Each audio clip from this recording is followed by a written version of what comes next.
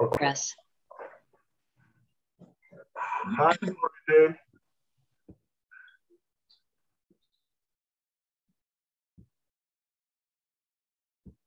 Hello, can you hear me, Coride? I can hear you. I hear you. I hear you. I hear you. Okay. Oh. I hear you. You broke up oh, oh. quite a bit. So I know you were talking. Sorry, are you at work? At No, work? I'm home. All right. Good to see you. All right. Uh, let's start uh, today's conversations. Uh, last week we started on um, on a new theme titled 20 laws that guarantee marriage without tears. 20 laws that guarantee marriage without tears. And for a quick recapitulation as to some of the things that we covered, we said the very first law is the law of deliberate work. That making marriage work is a function of deliberate work. But we went ahead to expand on the fact that it's not just random work, but tailor made work, uh, customed work. In other words, that we should move away from just loving and loving our spouses the way we want to that place where we begin to love them according to how they want to be loved. Uh, Dr. Gary Chapman calls it speaking their love language. Then we talked about the fact that uh, if there are going to be any changes to be made, let the focus be upon yourself to make changes to your personal attitude. It is such key because each time we think we want to change the other person, we become judgmental and the pressure of trying to change the other person begins to make living with us a difficult experience. Then we talked about uh, making yourself a marriage maker as against not becoming uh, what you call marriage hunter or a marriage challenger or uh, a marriage uh, uh, drifter or what we call the premature marriage minder. Yeah. You should become a marriage maker. It is skill and thanks be to God that the skill can be learned. You know, so uh, okay. So we advise everyone learn the skill. But I think the biggest home run was in that number one law that we should endeavor to customize love according to what the person we are relating with really wants to see.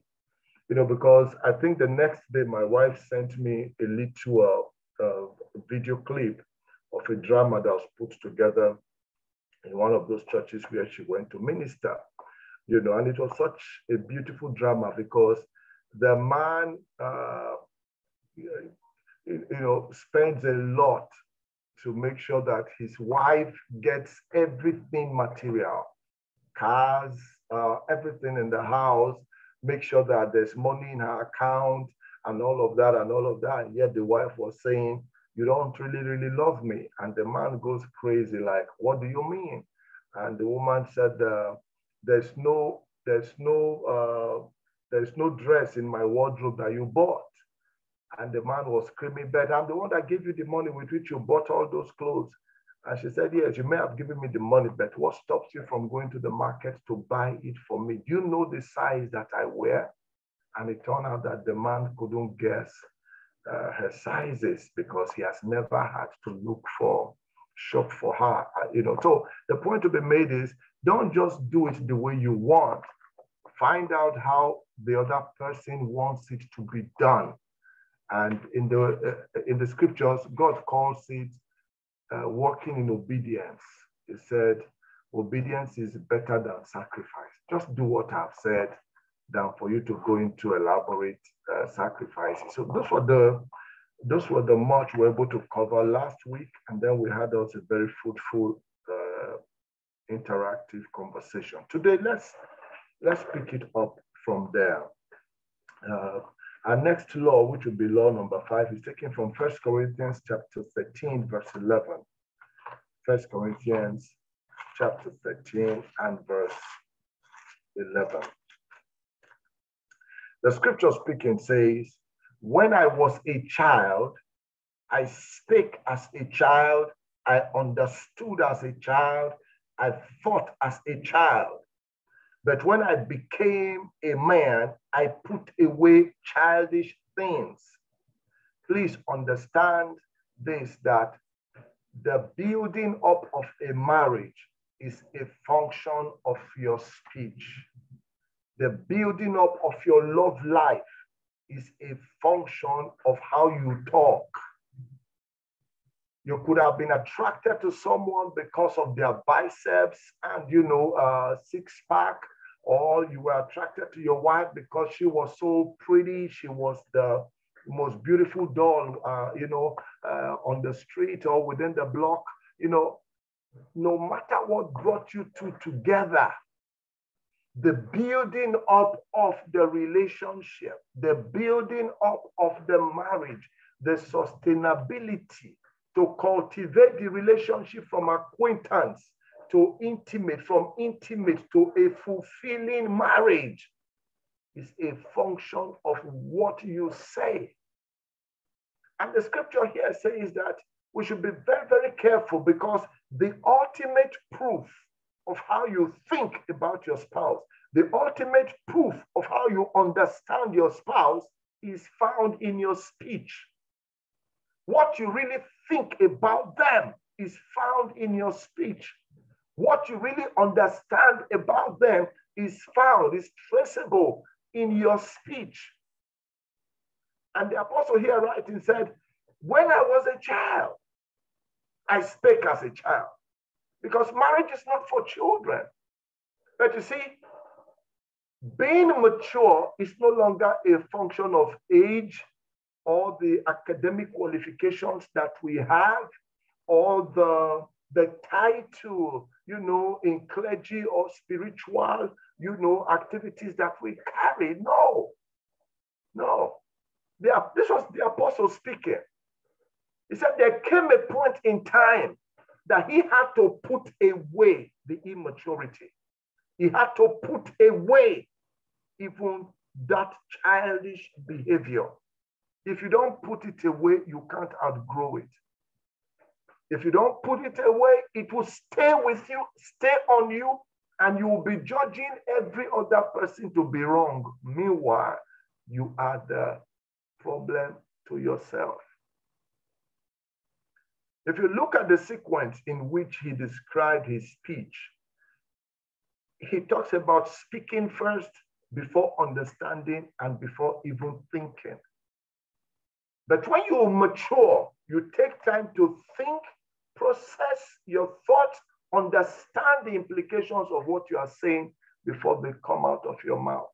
That is the only way you can ensure that you say what you mean and you mean what you say and you use what you say to build what you have.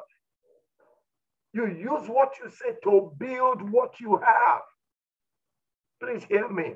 If we don't go too far because of this particular law, um, I, I'm gratified. Please hear me.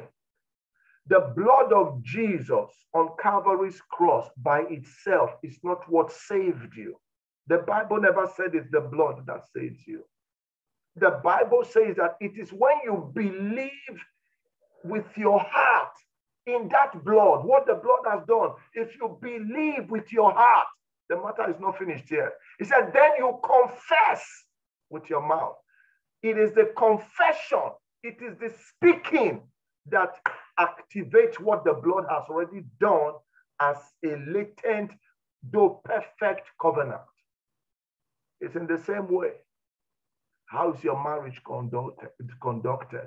Your marriage is not a function of the ring you wore, whether it was uh, 24 carat or it's just a ring from uh, a Coca-Cola uh, can. No, no, no, no, no. Your marriage is solemnized by the vows, the words you said to one another. It is the vows that solemnize you, not the certificate. The certificate is evidence to show that you have taken the vows. It's the vows that marry you, not the ring, not the certificates. So, in the absence of the ring, you can be married. In the absence of a certificate to sign, you can be married. I think there are even some churches now that don't use rings.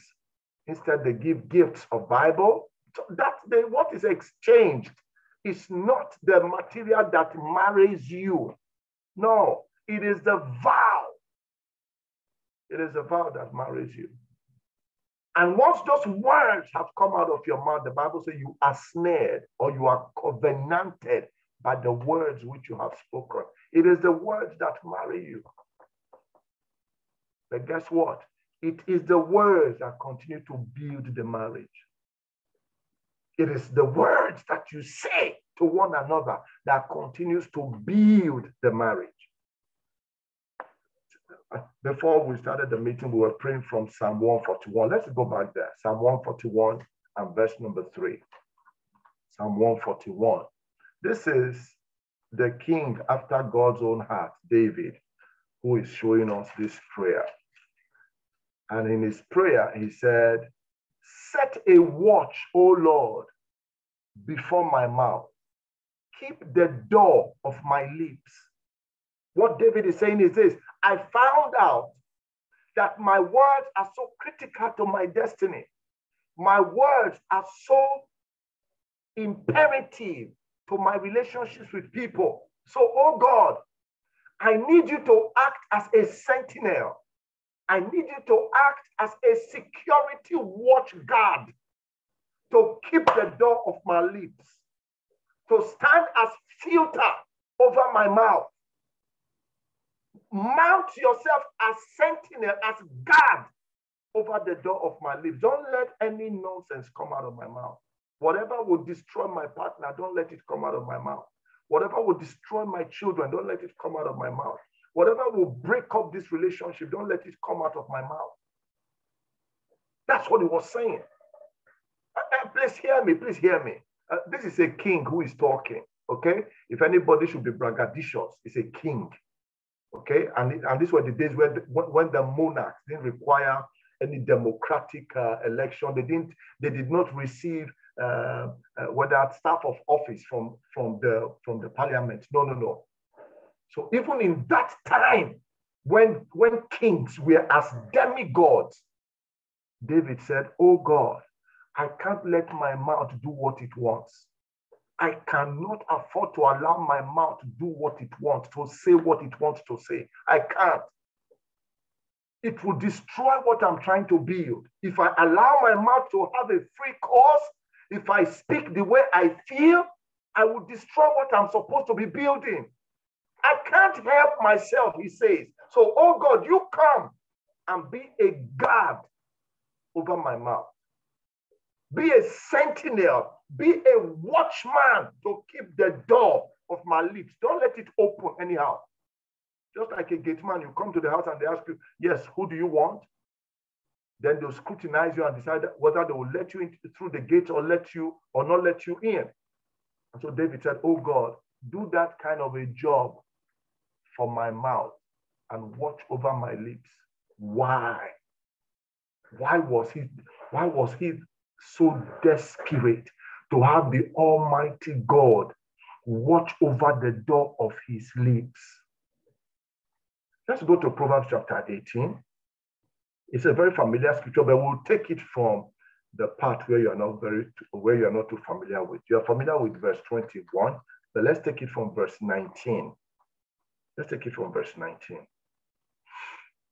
Proverbs 18 from verse 19.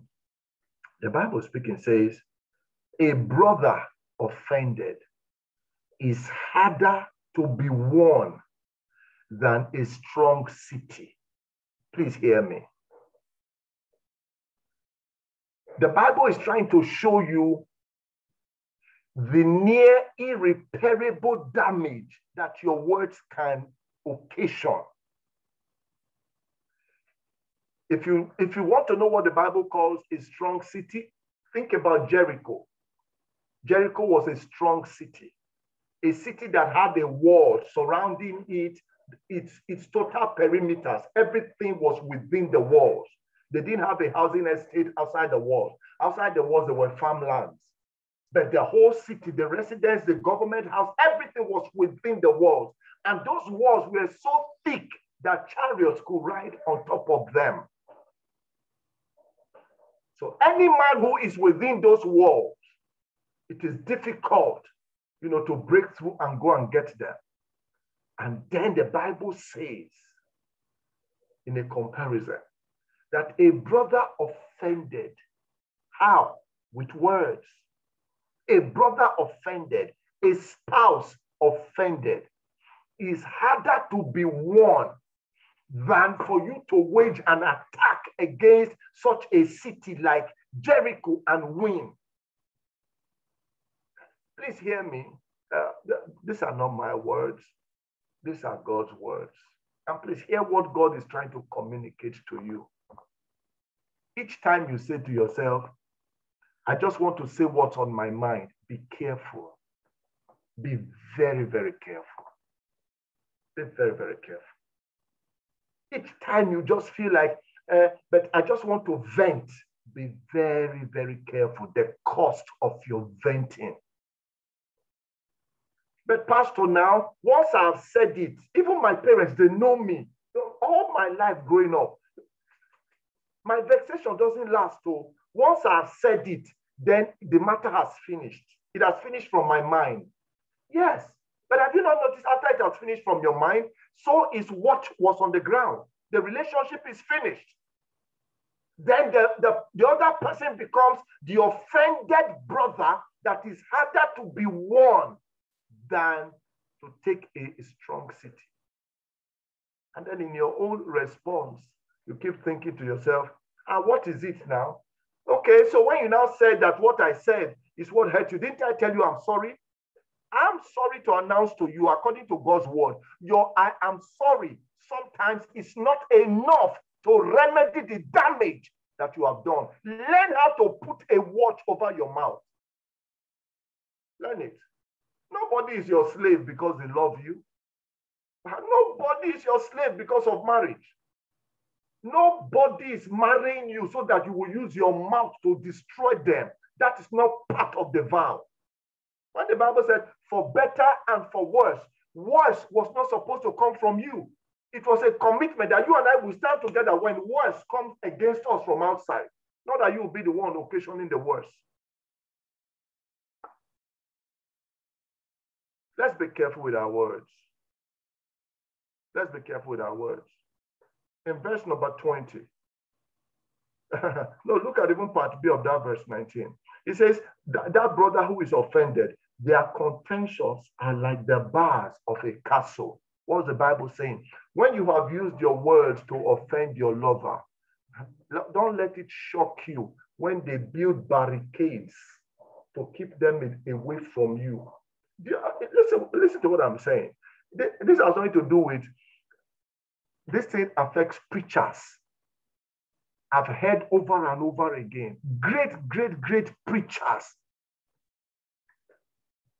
orators, that when they speak from the pulpit, God's people will be all over you. But when you hear them curse their loved ones at home, you can't reconcile the two. You can't.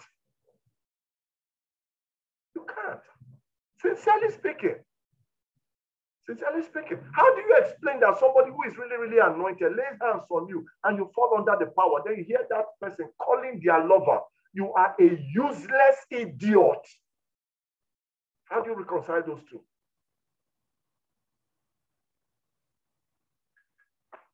How do you reconcile it? And unknown to you, you are crushing your children. You are breaking them up because they just wonder why. Why, why, why are my parents like angels when they're on the pulpit? But when they come home, they become like demons their God must be a very, very hypocritical God. Why does God use my parents? Can't God see what they are at home? Is God cooperating with them in this, their camouflage? Ah, no, yeah, I can't go with this God. And that's how those young children will go after rock music, go after celebrity um, uh, models, and follow those ones into the world. Please be careful. Be careful. The cut of a knife can be saved with stitches, but the cut of words, the Bible says, it drives the other person so far from you that they'll become unreachable. Please hear what I'm saying. Do you know that there are people who are married and we ask them, How long have you been married? They say, We've been married for like 33 years. That's true, according to the calendar. But reality says their marriage ended almost 18 years ago because of something that was said. And the person that said they didn't know how far that, that offense and that insult was going to go. They didn't know. Please hear me. A lot of people, I, mean, my wife is here. This has been our work for over 20, how many years now? Jemima is now 22, so, and we've been at it before Jemima was born. So, some people will tell you, I don't know what happened in my marriage. Oh. We used to be such sweethearts. Ah, we used to have so much fun together. I don't know what happened. This is it. Write it down. Your mouth is what happened. Your mouth is what happened. Your mouth is what happened. Goodness in marriages fled because of wrong use of words. Please hear me. I know it's possible that some of us, we came from home where insult, trading in insult was normalcy. You know, so you watch your mother and your father trade in unprintable insults. So growing up, you and your siblings, you guys opened the season two of the same insultive, uh, you know, uh, uh, use of insults you know, so now you, you've left your home where insults and use of insult is normalcy. Now you've married someone who comes from a background. Oh, Shakala Magata. Somebody who comes from a background of peaceable, you know, uh, uh, uh, um, peaceable, gentle, gentleness, you know, equanimity, you know, everything is soft and respect, you know, courtesy, you know. And now, living with you, you are trading with that person as though your father is still the one in front of you, as though your elder brother that beat you when you were age seven is the one you are retaliating on. And the person is just wondering, like, I'm sorry, I know God hates divorce, but I can't stay here. I gotta go. I gotta go. And then you're wondering, you come for counseling and say, eh, after I said it, eh, but mama, I, I, I told him I'm sorry. Why is he still going on and know about it? I'm telling you, in your family, when they say it like that and they say they are sorry, they all got used to it. The person you are dealing with is not used to it. Used to it. And don't make anyone to get used to it. it doesn't work that way. Please. When we say marriage has broken people, it is not the institution that broke the people. It is the words, harshly used words, that broke that person. That's what broke that person. You see people eventually become obese in their marriage. Why? They gave up on their self admiration somewhere along the line because the spouse in the place had reduced their, their self worth with words.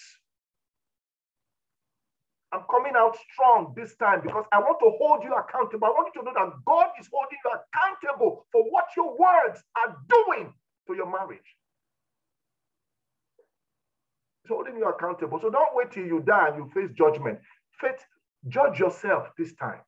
Judge yourself right now. In verse 20, see how see how see how the power of words work. It says a man's belly shall be satisfied with the fruits of his mouth. So there's a connection between your wealth, your affluence, the way people love to give to you. It's connected with how you use words, how you'll be satisfied. You look forward to just coming home. You see, looking forward to coming home is not a function of what you are going to, uh, let me put it like this. There is no home to go to if those who are there don't want you to come home. If when you are out, that's when they have peace. They don't want you to come back home. You, you, you have no home to go to rejoicing. It is not the mansion that makes those that live in it happy. It is happy people that make a mansion out of where they live. They say a man shall be satisfied, a man's belly shall be satisfied by the fruit of his lips. Then he says, and with the increase of his lips, he shall be filled. In other words, if you take this thing very, very seriously, you can retrace your steps from today. You can still recover some of the things that have been lost in that relationship. If you can just trace them to what you said that cut them off. Find out what you said that cut him off. Find out what you said that made him to stop kissing on you. Find out what you said that made him to lose interest in even making love to you. Find out what you said that made him to stop giving you money. He used to be so generous with you. Trace your words back. And then when you find what you said, repair it and then go on the increase saying the right thing. And the Bible says, as you go on the increase saying the right thing, you will also enjoy increment in the relationship. Why? Verse 21 that you and I were familiar with. Because death and life are in the power of the tongue, and they that love it shall eat the fruit thereof. Whether you are a preacher, laity, or sinner, unbeliever, infidel, it is the same thing. Life and death is in the power of the tongue. It's in the power of the tongue. The death of your marriage is in the power of your tongue. The life of your marriage is in the power of your tongue. How come we're no longer close like we were close before? It's in the power of the tongue.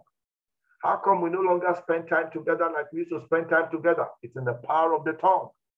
How come you no longer confide in me like you used to confide in me? It's in the power of the tongue. How come nothing I say is funny to you anymore? It's in the power of the tongue. It's in the power of the tongue, people. This is so, so, so, so critical. Remember when I did the course with us here, I think it was on communication. I told you words can be padlock and words can be keys. As padlocks, some words can lock people up and they will never be open again. Words of dishonor, they have a way of making people to lock up.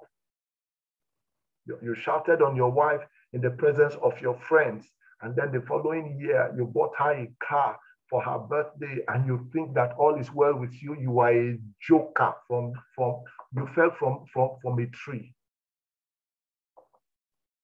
Plus your car, plus everything you are buying. If you don't go back and repair that insultive standoff that you did with her when you rebuked her in the presence of your friends and you reduced her, you, you, you, you are not going anywhere.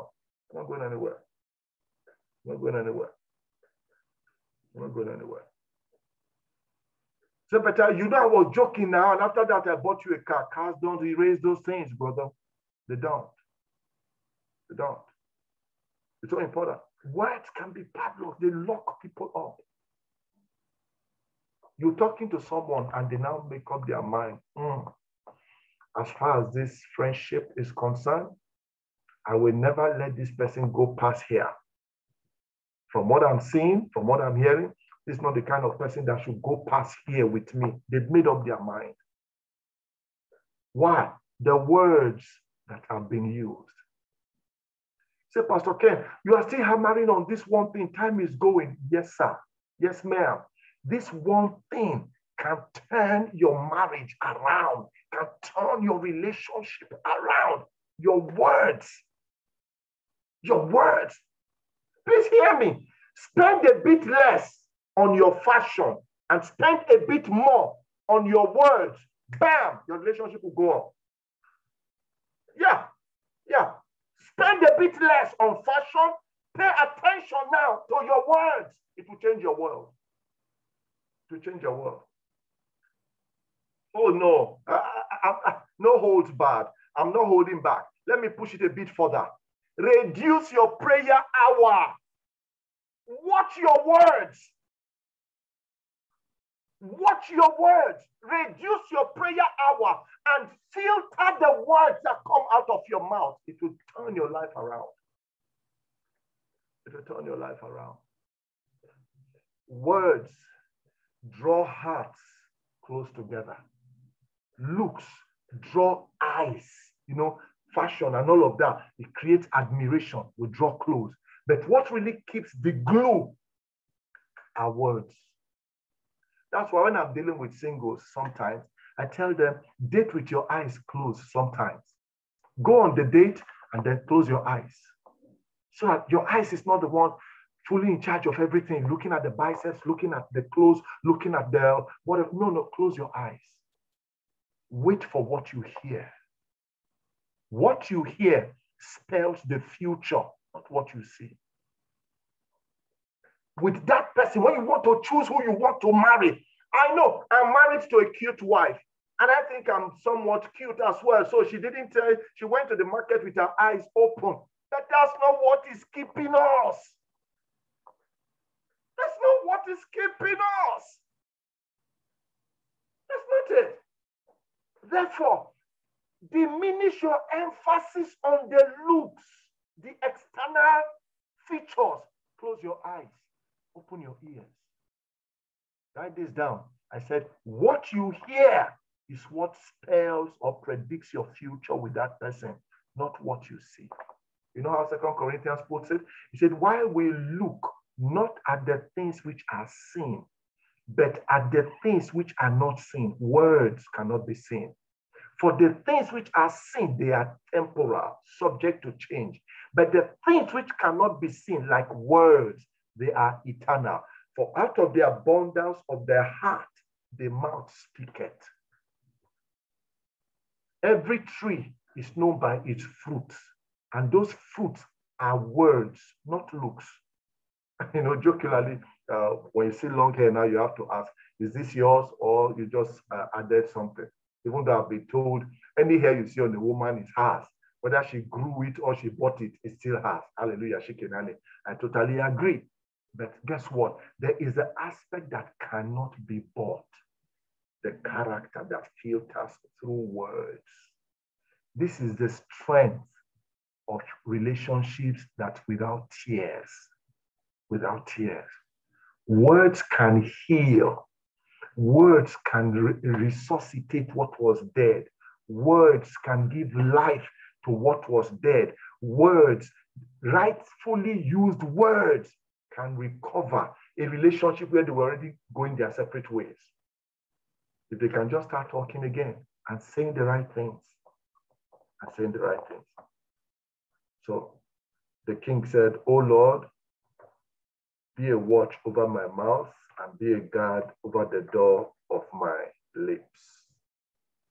Law number two, dovetailing from this particular law, which is the law number six now in the whole lineup, is taken from Proverbs chapter 20. Honey. Yeah. Sorry to cut in on you, but did you observe something no. that from that verse 19, no. verse 19, verse 20, verse 21, yeah. if one moves to verse 22, yeah. It now feels like the climax of what this king was describing yeah. was that the man that can find a wife, yeah. the man that can find a treasure in his wife, the yeah. man that can receive receive favor from his the, the Lord as re, regarding his wife is this man who knows how to speak wholesome words. Yeah. Everything just started like conversation from verse 19, then it goes to verse 20, then verse 21, and in verse 22, it was like God now allowed everything to erupt. This is where I'm going. If you're able to control your words, if you're able to speak kind words, you will find a good wife. It's like you finding a good wife comes from the ability to speak right words and to sustain it.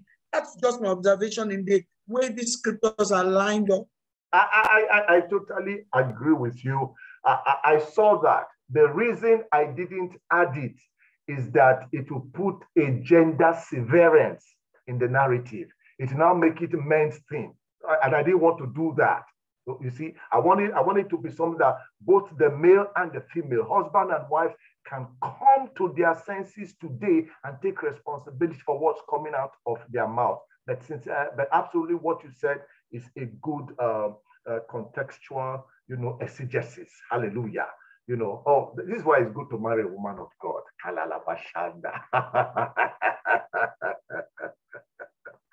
All right, now let's continue. Our second law is taken from Proverbs 25 and in verse 28. Proverbs 25 and then in verse 28, ha, look at this.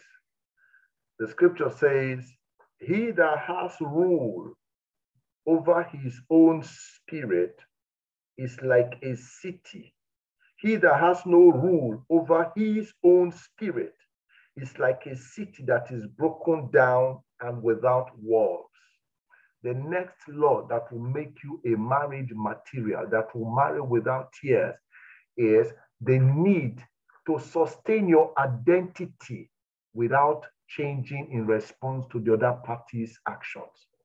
The need, the power to sustain your identity without changing who you are in response to the other party's actions. People say you used to be a very, very sweet person. Then you get married, and now they're beginning to notice that you're no longer that sweet. What happened? Say, well, I was sweet, but I got married to a crazy person, and they kept provoking me and provoking me. So now I had to develop a thick skin. I had to develop, you know, the bad conscience. I had to develop, you know, um, uh, I, had, I had to survive.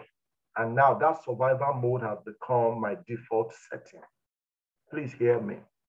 You can never control what somebody else brings to the table. You can never control how somebody else is going to behave. You cannot determine how people will react to the pressures of life. But here's what the Bible is saying you have ruled over your own spirit, not their spirit. Maintain the rule over your spirit, not their spirit.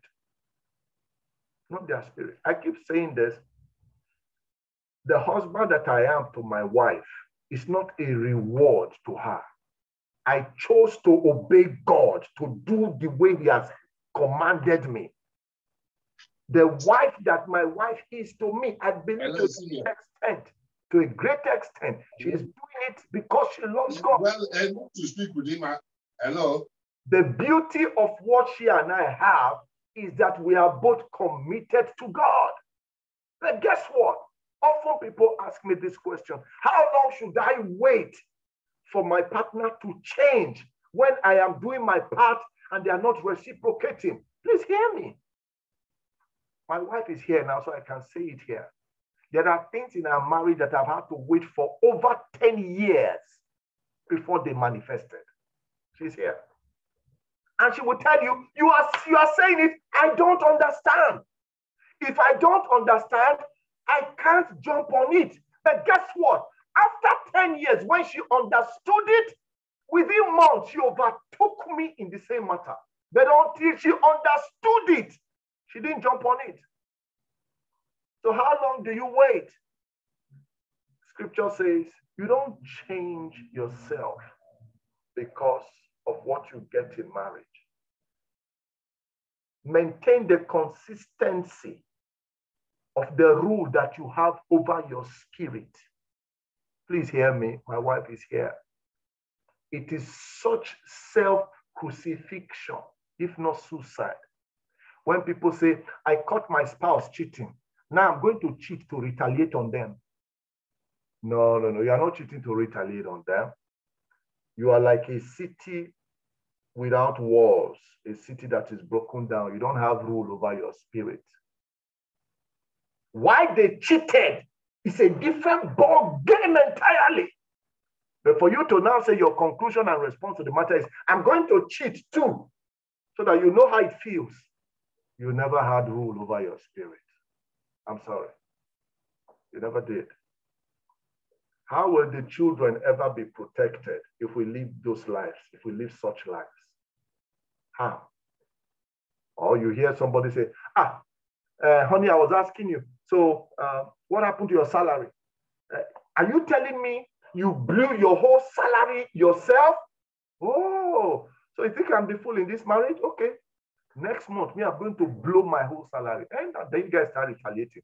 You blow June, she will blow July. You blow August, she will blow September. Then you blow October, then school fees will be due. And then it becomes a prayer point. Why? That's not how to marry. You keep the rule over your spirit. Say, for how long? Please keep growing in who you are. Keep developing yourself towards God and always rejoice in your capacity to change and become more Christ like. It is not a function of reciprocity. This is who we are called to be. The reason a lot of marriages become bitter is this retaliations. When you want to remove the tears, become a consistent person who is growing in Christ likeness. Say, Pastor Ken, what are you saying? What I'm saying to us, my brothers and my sisters, is that there is the critical need in this 21st century for you and I to learn on how to connect God's purposes with our pleasures in marriage. We have to learn on how to connect God's purposes with our own pleasures in marriage. So it's not just about you. Please hear me. I know you and I get upset with Adam and Eve, at least from Sunday school studies, that ah, Adam and Eve that ones that put us in this trouble. Please now go cinematographic on me, okay? In a cinematographic uh, manner, just sort of, you know, imagine with me that the only family on earth is not Adam and Eve. The only family on earth is you and your spouse and your couple of kids. And now God is relying on you and your spouse and your children to propagate his kingdom on earth. I know you complain that Adam and Eve failed us. What you are doing right now is it not failing the next generation? If you are the only family elected by God now, husband and wife, Mr. and Mrs., and God said, I'm going to use your family to propagate my kingdom on earth. Will it go beyond I mean, will it succeed? We never think of it that way. We always have this feeling somebody else will obey God and transfer his kingdom on earth. Another family will do it God's way, but for us, we'll do it our way. We'll, we must allow our selfishness to have full sway here. Some other person should obey God. It's not true. You are the one that must obey God. You are the one that must realize that marriage was founded by God for God and for man. Please hear me. In Genesis chapter 1, from verse 21 all the way to 26, we don't have to read it. God entered the fifth day of his creation. And he said, Let the waters bring forth all the living creatures in the sea, and then let the birds of the air be created. So on the fifth day, he created all the aquatic animal life, and he created the aerial animal life, all the birds, all the flying creatures, and all the swimming creatures. The, the evening and the moon and the and the morning of the fifth day, and God saw that everything was good. Then on the sixth day, he created the cattle, the creeping things, all the animals that are on the land. Remember, day five, he created the animals in the in the water and the ones in the air. Day six, he created the animals on the land. And then the second half of that day, he said, Let us make man in our own image and after our likeness. Now, please hear me. Concerning the animals in the sea, he made them male and female, separate genders. Concerning the animals in the air, he made them male and female, separate genders. Concerning the animals on the land, whether the creeping snakes or whatever crabs and all, he made them all, as it were, male and female, separate genders. When he was creating the man in his own image and after his own likeness, he created one man. Then he came back in Genesis 2.18 and said, it's not good that the man should be alone. Hear me. God intentionally created all the other animal world the way he did, then created man the way he did to give us marriage as an institution. So he came and then he now brought Eve out of the rib of Adam. And then he said to the man, For this reason shall a man leave his father and mother. Please hear me. God was not talking to Adam and Eve. Adam and Eve had no mother or father. He was using them to instruct us concerning what he has just done, this institution that he has just created, which is not available to the other three departments of living animals. Breathing in the same oxygen as us. Gene engineers, bio engineers are about to, they will soon begin to um, um, replace our liver, our kidneys, and even our heart with that of a pig. We are that close now. But God didn't give them marriage. He gave us marriage. And he's telling us how to make it work. He's telling us how to make it work. If we can connect God's purpose to our pleasure, then we'll, circum, we'll become circumspect in the way we demand for our pleasures. You know, sometimes what destroys us is what I call the clash of our rights, the clash of our liberties, the clash of our self-expression at several, several levels. At the general level of gender conflict, male and female. No, men say it should be like this. Women say it should be like this. Men say it should be like this. Women say it should be like this. Our, our rights our liberties, our self-expression. Then you come into the homes. Ah, no, no, no, no. Who is the head of the home? He get it, get it, get it. The, the, the man, and then the woman. About the rights, about the liberties, about the self-expression. But everybody is forgetting the kingdom. The kingdom, which is the first purpose. Remember, God's, God's marriage program gives us three purposes. Number one, companionship. It's not good that the man should be alone. Number two, procreation, multiply and replenish the earth. Number three, the dominion mandate, have dominion over all my creation. Guess what? The companionship is about you and me. We're enjoying each other.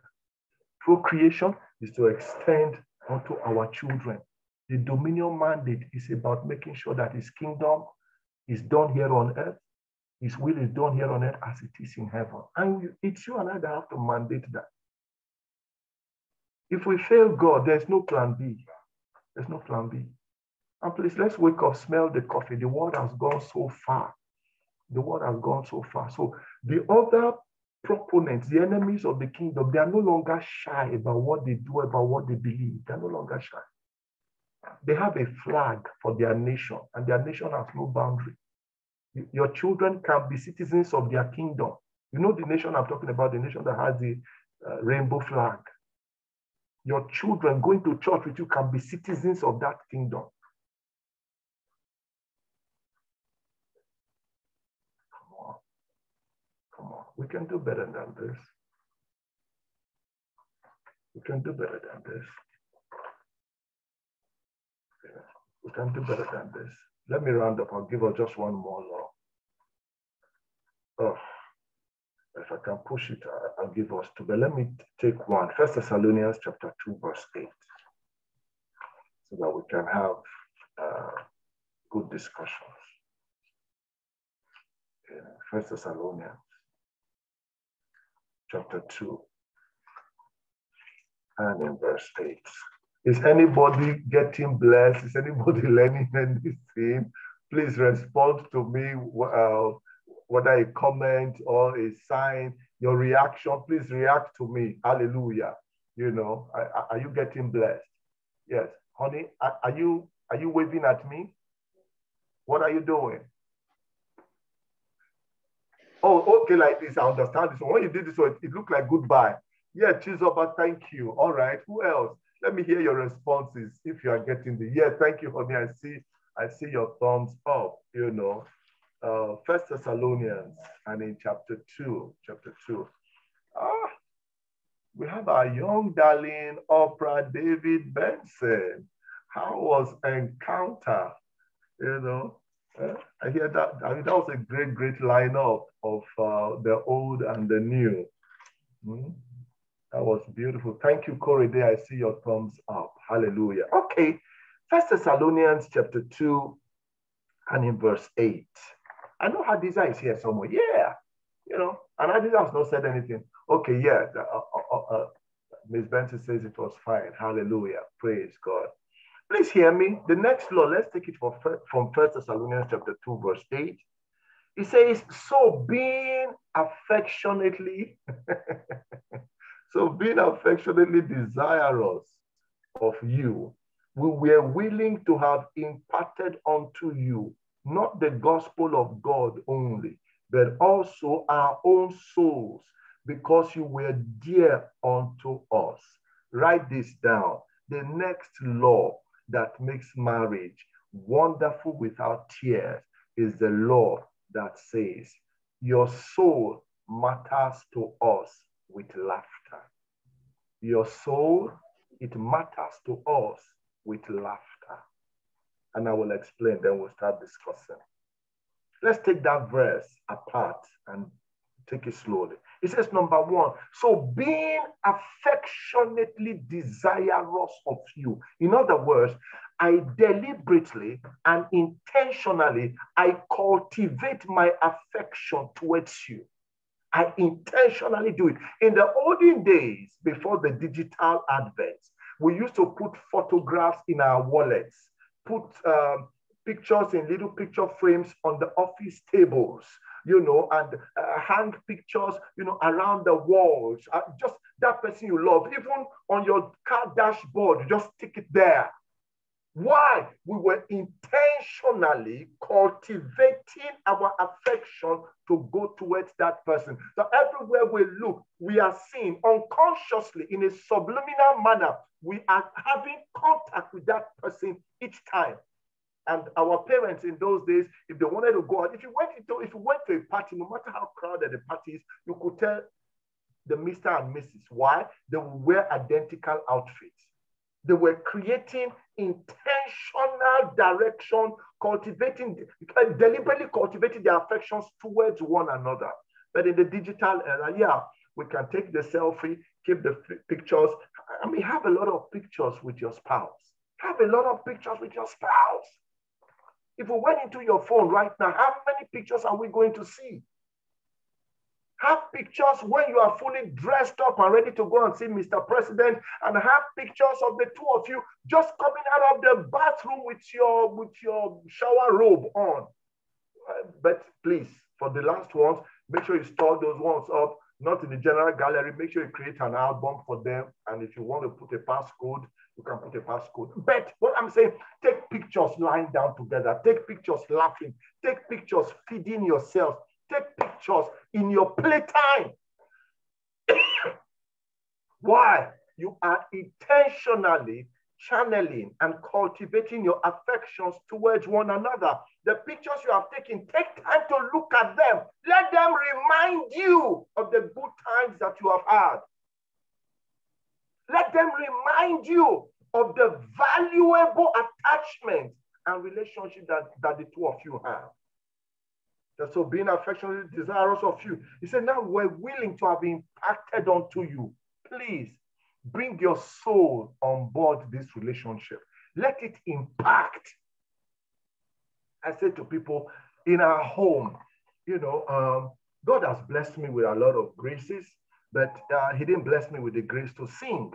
But when I want to torture my wife and torture Jemima and Shekinah, I'll just start singing. Hallelujah. This is nothing I head and they all start begging me, just tell us the song, we'll play the CD. I said, no, no, no, no, no, no. Let me sing it for you guys, you know. Then when I really, really want to hit the home run, I put on my dance. I will never forget the day Adiza was there with us and we all started dancing, only for her to say to me, Pap, you are streaming live. I said, how? He said, no, I have you going on live. I said, God forbid, how can you be streaming this live? Because we're dancing hilariously. Sometimes you see Shekinah will just be looking at me like, like, what is he trying to do? Those were the days of, he Azonto, you know, Skelewu, Skelewu, you know, those dances. She's like, What are you trying to do? But guess what? I'm just being impactful. I'm trying to make them laugh. What has happened to the laughter in your relationship? I'm a serious minded person. But when it comes to the home, I want it to be a haven of refreshment where we laugh, where we laugh. Let me tell you, laughter, the Bible says, and this is from God's perspective of analysis. It says laughter has the same capacity of efficacy like medication. And laughter doeth good like medicine. It can heal some things. But how come the relationship is, no, is now without laughter? No more playing together. No more playing. Some people think that, I ah, know we've grown now, we are more mature. No, no, no, no. Even the, you can't be older than the ancient, ancient of days. And the Bible still says concerning the ancient of days, he that sits in the heavens, he shall laugh. He still laughs. He still laughs. Bring back the laughter to your marriage. Bring back the play to your relationship. If we are, if we are dear to one another, bring back the laughter, bring back the playing. My wife and I, we've been married um, almost 23 years. Guess what? We still chase ourselves all over the place. I have a name for all her body parts. We can be discussing some things right now. She will tell me, sorry, that person doesn't want to take your call. And you guys are thinking we are talking about the, uh, the Canadian immigration. Now, lie. The person that we are calling doesn't want to take my call. It's right there. What we are looking for in Sokoto is inside the Sokoto right there. That you can never tell. That's how we roll. That's how we roll. Hallelujah. Why? Keep it light. Keep it happy. Thank God for video FaceTime calls. We can still tease ourselves. We can still make each other laugh.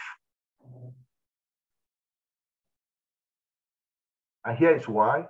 He said, do not just impart the gospel of God, impart your soul. I'm rounding up now so we can discuss. Impart your soul. Stop to say good morning. Stop a bit, a bit longer and say, How are you? And wait even still to get their response. Let's talk these relationships that don't have the simple courtesies or simplistic living. No more greeting. Somebody goes out and comes back. Nobody says welcome. As a matter of fact, you just hear the bell and you turn. Who is it? And somebody goes to get the door. Oh, it's uh, it's you. Honey, welcome. And you see that. Why? Get up, go give that person a hug. Welcome them. Act like they've gone to the moon, to another planet, and they just returned. Even if they just left the house 20 minutes ago. Celebrate the times that you have together. All we have is this single life. There's no second, there's no part two to it. Enjoy yourselves. Enjoy one another. And it doesn't take plenty of money to do this. All that, all that it requires is that you bring your soul out. Bring it out. Let them enjoy you. In Jesus' mighty name, we have prayed and we have preached. Amen and amen and amen. I think I got to stop here. Thank you, Chizoba. I got to stop here so that we can take. Amen, amen, amen. Well done. Uh, my in-law. Ah, my in-law is here today. Good to see you, Sister Joke. and your bet. Good to see you guys. Good to see you. All right, admin, thank you. Good evening, sir. Good to be here, sir. thank you so much. How my children? Hmm? They are fine, sir. Very well, very Thank you so much. I really enjoyed this, sir. Thank you so much, too. Thank you for coming, uh, Opera David Benson. Thank you. Honey, uh, could you help us in the Q&A? Thank you.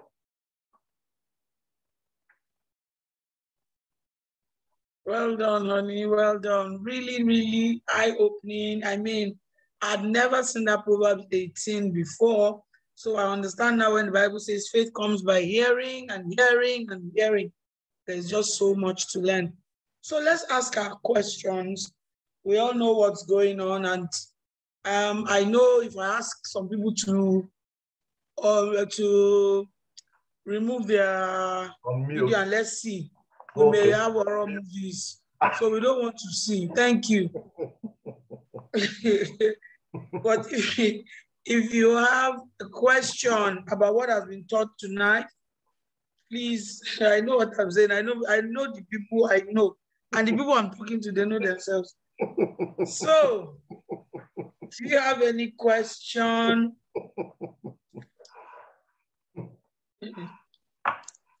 what questions you have from what I've been taught tonight?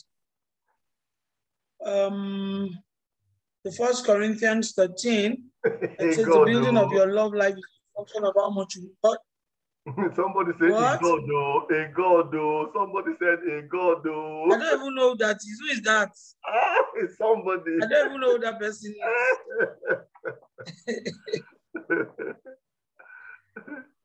How do we improve our relationships by the words we speak, even when we're upset? Now, let's be practical, let's be real. You're upset about something, something is not aligning as you want. How do you still build a good relationship with your words? According to this, I think First Corinthians 13, I said, when I was a child, I spoke as a child. Hey, and Francis is here. When I became a man, I put away childish things. How? How do you manage those heated moments and yet remember God's word? Let's talk about practicability, the practice of what has been preached. Let's do it quickly because our time is limited. Oprah, you're a first timer. Can you open the floor and tell us how long have you been married for? How have you dealt with heated moments? How have you kept the word? And if you have not, this is a safe zone to say, man, that is one thing I've learned today. Oh, I didn't know, but now I do. So the floor is yours. The person that just commented now, you may get ready, you may just dress up. Okay. or if you have a question, uh, any part you want me to go back and elaborate on, please go ahead. Yeah. Um, good evening, Ma. Good evening, sir. Good evening. Good to see you. Good evening. So blessed. I've been so, I've enjoyed every bit of it. I'm sorry I came a bit late. I, I, family baby mother. I, I actually forgot. Um, what I do when we have our ticket moment, for me, I just walk away and then I, I, I say things to myself and I make sure I don't say them I make sure I don't see them You make sure you don't say them. Is that what you said?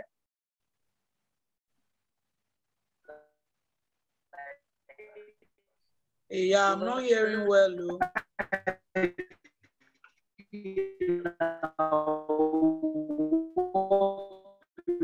The, the, the, the bandwidth is low. Yeah. Hmm.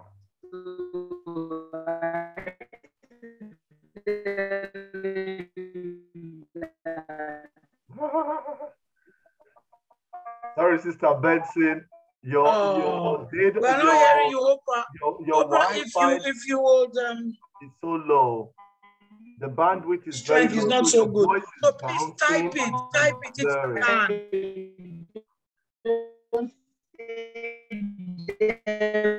can.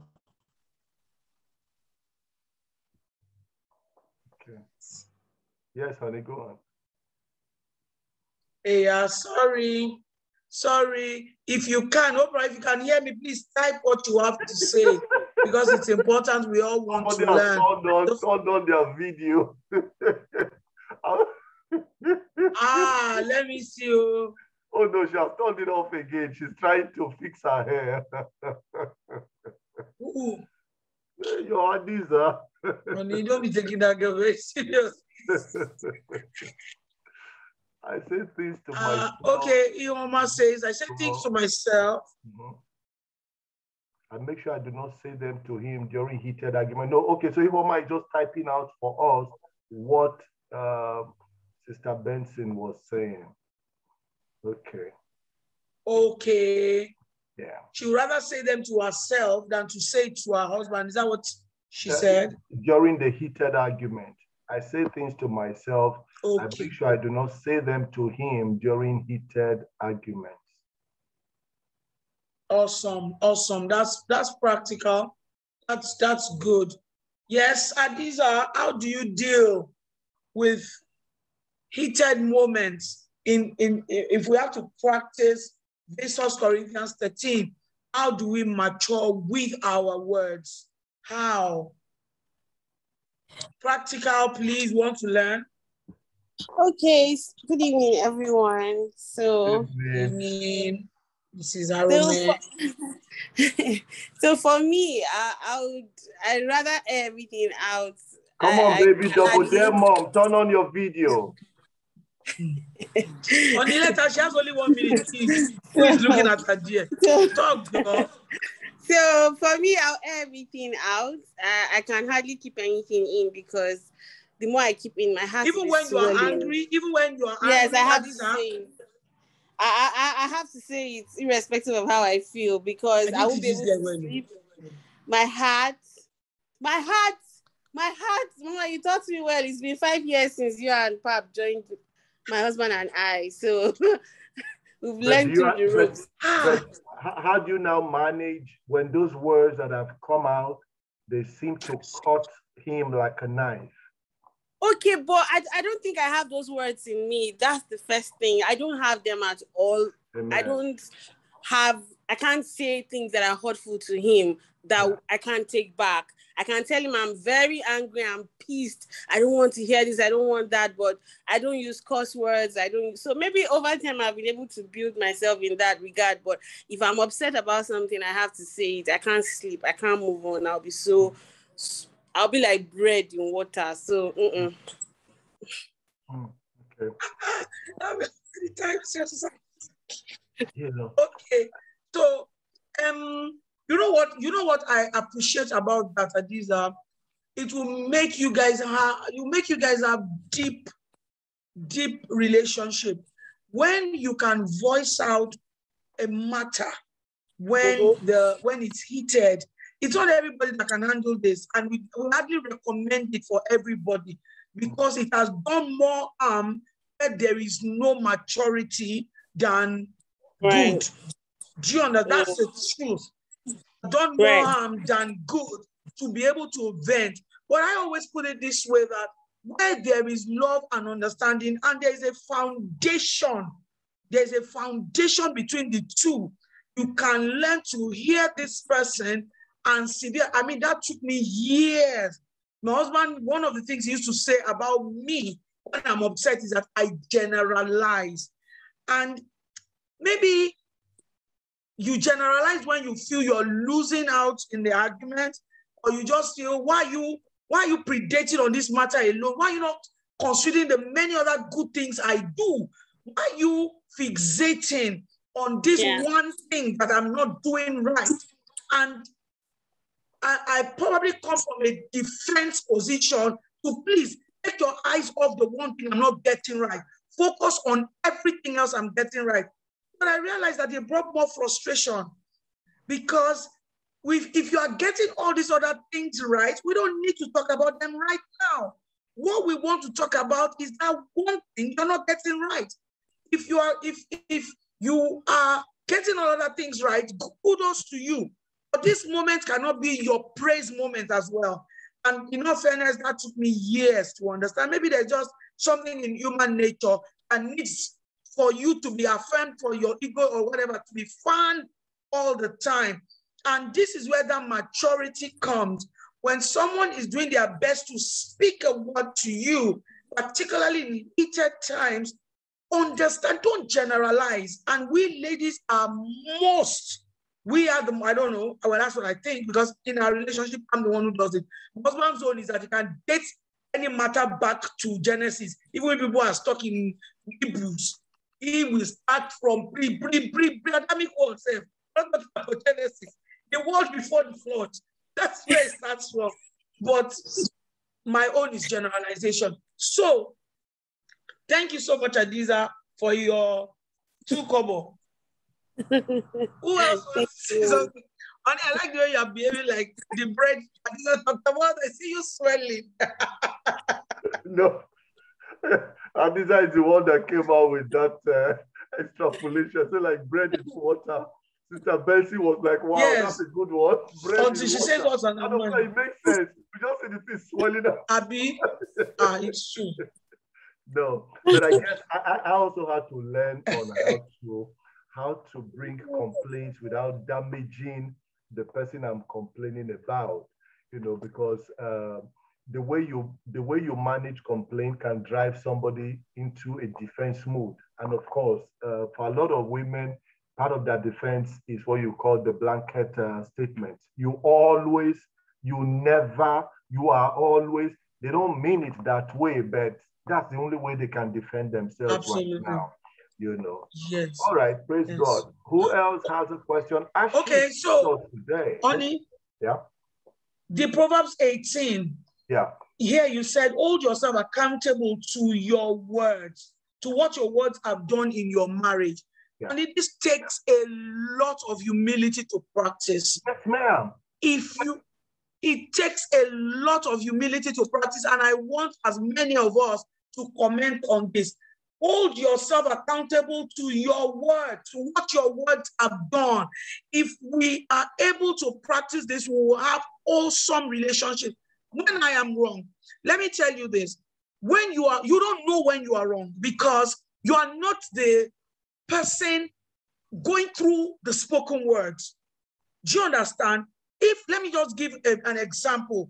If my husband just looks at me, for example, he will never say, I'm just using it as an example, and he says, Wow, honey, you have gained weight. He meant it. He will never say such a thing because he doesn't even see those things. He even likes big. He likes I have, I have cataract. I know, I'm just using it. I, I, I like yes, size. I know. I like bread in water. Amen. Honey, it's okay. We are not talking about you now. We are talking, please. so I'm going somewhere okay. that if he makes a statement like that, to say, honey, you have put on weight, he could have said it from many angles. I'm concerned about your health. Mm. Have you observed that this is what the reality is? And how I take it is totally up to me. If I now say, wow, honey, your comments hurt me, his idea should not be to defend himself. He should hold, take hold of the word he has spoken and use it in my benefit. I don't know if I'm making sense.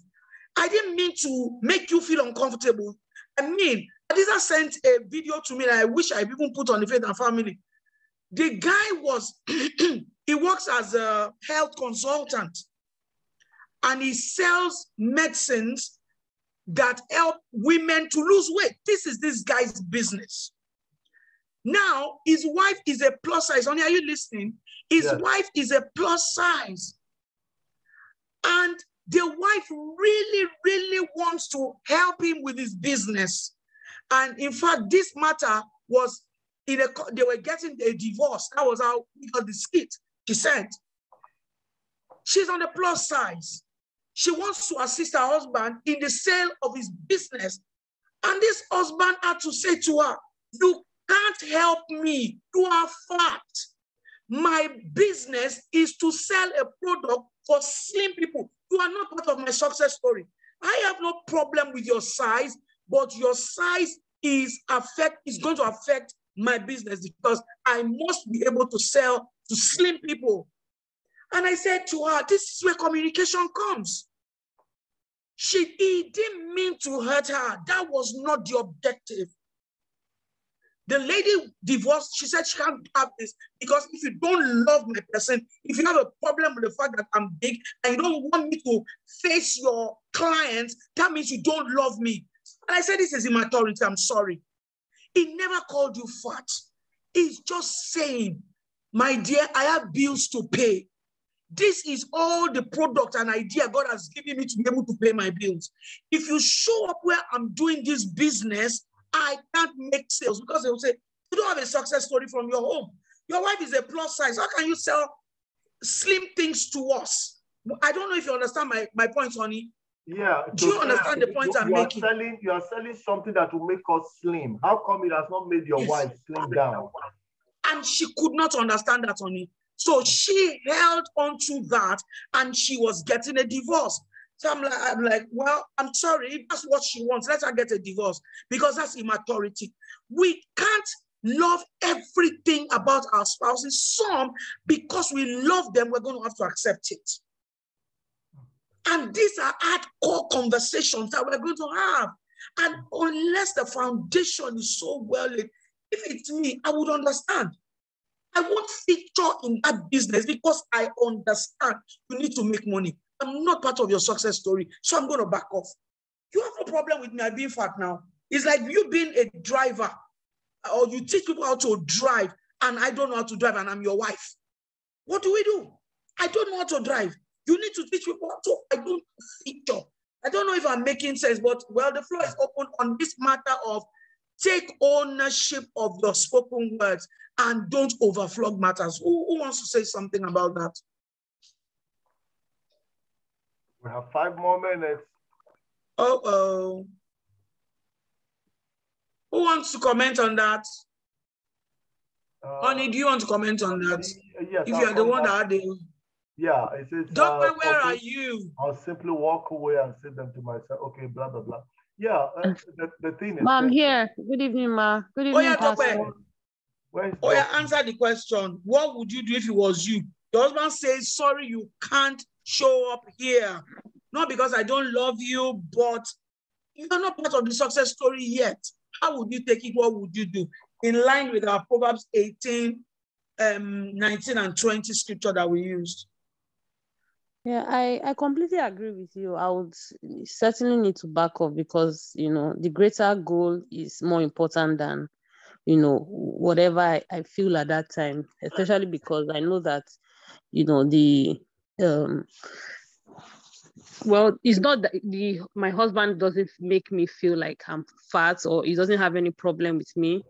And so I don't see any reason why I'll make it a big deal to, you know, go to the extent of divorce. So I think, but it's, it's a bit extreme if, you know, with all the information that we have about this case, it's a bit extreme. And I think that, you know, the woman should back off knowing that um, the greater goal or the greater good is more important than any other thing in question here. Mm. And of course, how do we track you, back you, our work? You cannot use a broken car to market car servicing. You know, service your own first. You know, service yours first. You know, well, honey, this was the bad of the woman, not the bad of the man. This was I understand. Woman. I, I understand yeah. that. Yes, uh, she wanted to feature in the business, but she wasn't a proper model for the product. So he said, "No, you can't." Maybe what would have then happened as a middle course of action is to ask her, would you want to take the, this medication? Would you like to try it? You know? In fact, that would be worse in a, in a world of sen- um, sensitive women. You are making yeah. it worse.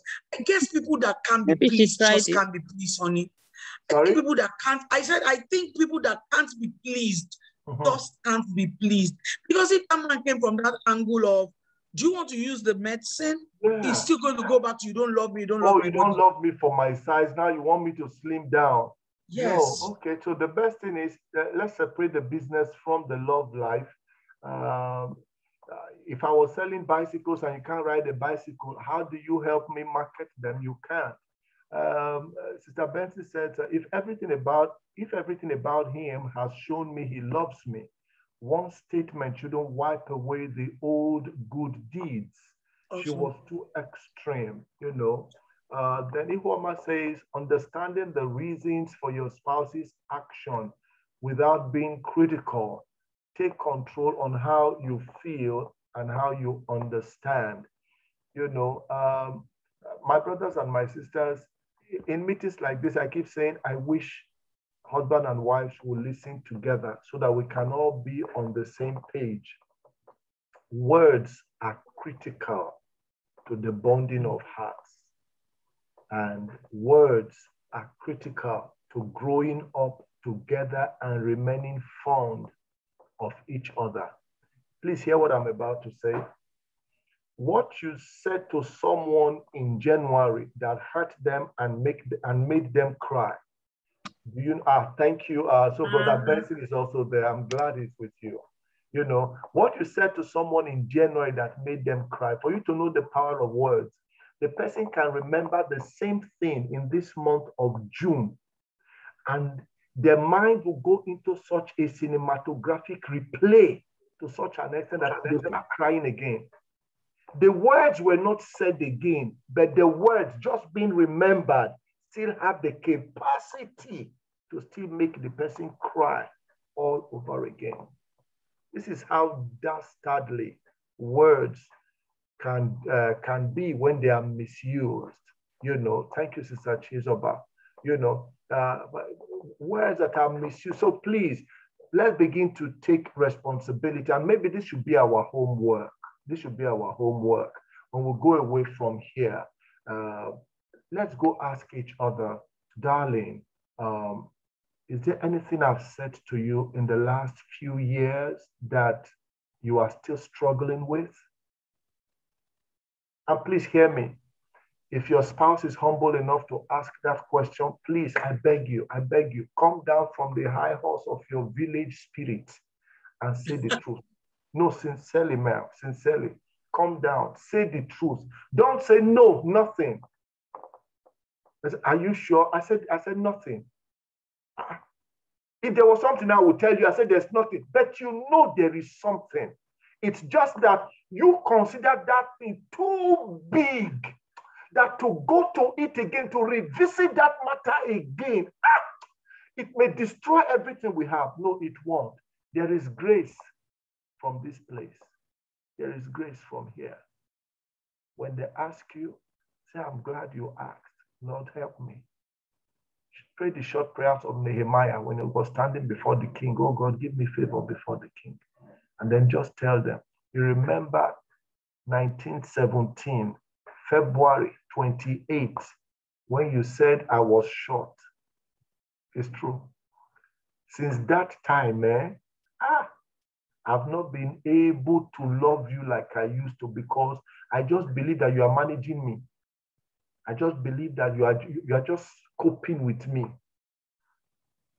Say it out. Let that person explain themselves. Let them own up, take responsibility, and say, No, I meant it like this, or this was the condition surrounding what I said. This is where I am with you today. And please hear me. Once they have repented, accept their repentance and then enter into a new season together. Please hear me. I know I'm far away from my wife. I shouldn't be the one who should be proposing all this right now. But I'll just, uh, for Jesus' sake, I'm being magnanimous. Uh, when you guys reconcile, just try and send the children to the neighbor's house. If you have house help, tell them to go and buy crayfish from Mama Calabar. Let it be very far distance so that you guys can have at least 15, 20. Kai, only you are primitive. Jesus. Yeah, crayfish, Mama Calabar. Oh. This Canada has not taken nothing. Ah, we have Mama Calabar in Toronto.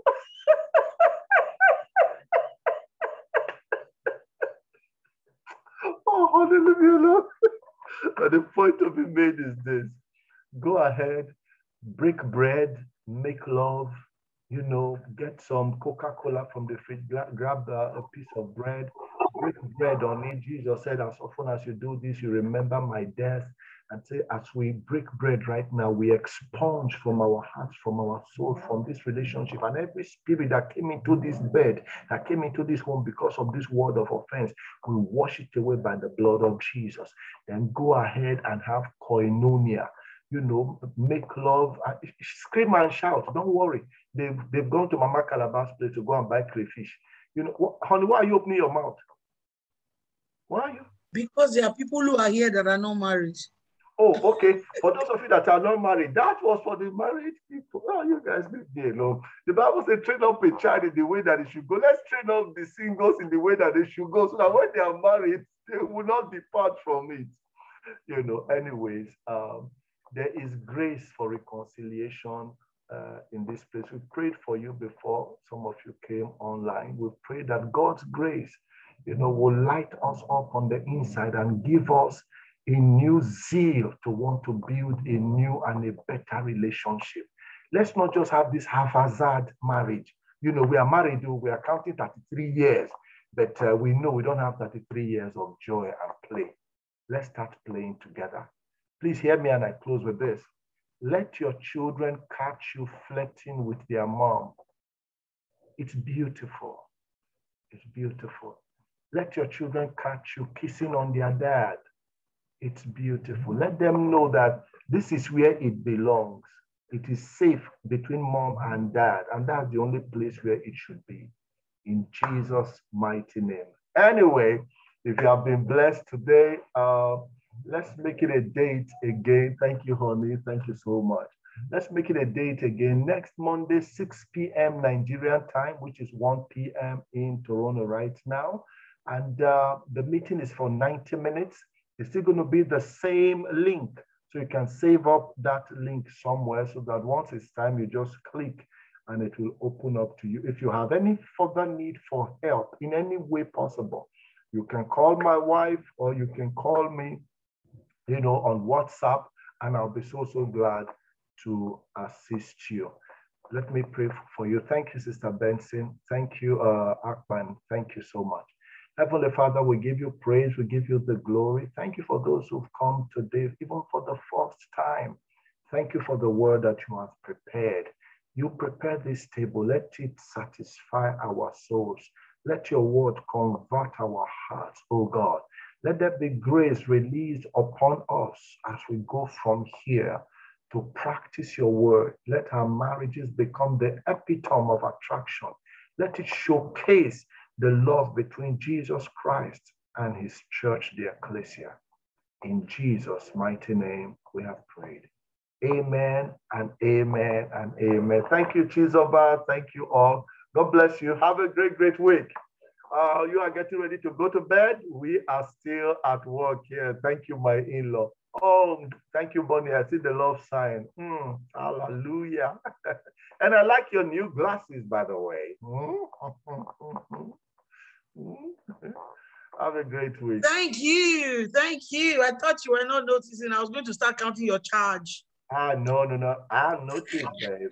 You want to know what else I noticed? Or you want us to go online and see what we Oh, it's okay. Bye, no, honey. Bye, bye, no, bye. No, bye. No. Get a room. Thank you, bye. Get a room, honey. Thank you, sister. Bye. Tell me where to your husband. Hallelujah. Who was talking there? Was that Hadiza? What was Of course it was Hadiza. I said no. Get a room? no, that was Mama, not me. Oh. Ah, okay. because I know I'm about to go in for a session. You need it exactly. Four hours. Yeah. Before I was Felix there. Was Felix listening in? Felix, no, tell her every evil she has done. Tell her. Toxic girl. Bye-bye. Bye. Thanks, Doc. We're glad you had fun. Bye-bye. Bye, bye. Bye, sir. Bye. Bye, Mama. Bye, sweetheart.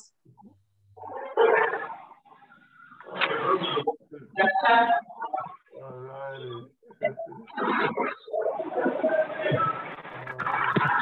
Okay, so let's prepare for work and prepare for school tomorrow. Tomorrow is a long day. What time?